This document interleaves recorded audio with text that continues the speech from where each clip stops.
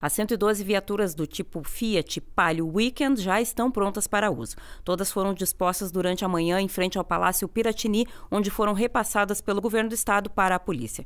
O investimento nos veículos e nos EPIs, os coletes balísticos, foi de cerca de 12 milhões.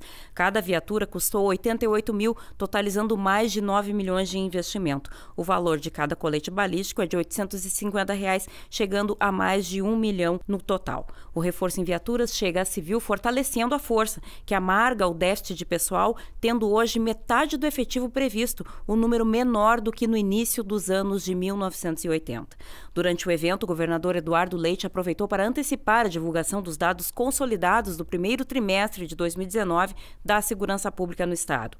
Segundo ele, o Rio Grande do Sul registrou o menor número de latrocínios, que é o roubo seguido de morte, desde 2002. Cachoeira do Sul foi contemplada com 13 coletes balísticos e uma viatura. Os coletes serão utilizados pela Brigada Militar e a viatura será repassada para a Polícia Civil. A cidade recebeu os equipamentos atendendo a emendas dos deputados federais José Otávio Germano, Luiz Carlos Reins e Heitor Chu. Estamos comemorando aí nesses três primeiros meses de governo uma forte redução em indicadores de criminalidade no estado. O número de latrocínios chegou ao menor nível registrado desde que nós temos essa contabilização no Estado em 2002.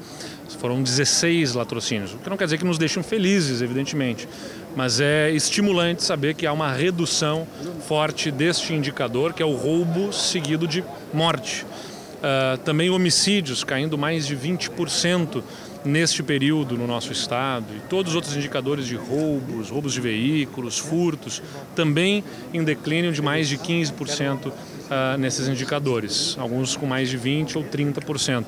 Então mostra que a ação coordenada, liderada pelo nosso secretário de Segurança, delegado Ranolfo, está tendo efeitos na redução da criminalidade no Rio Grande do Sul.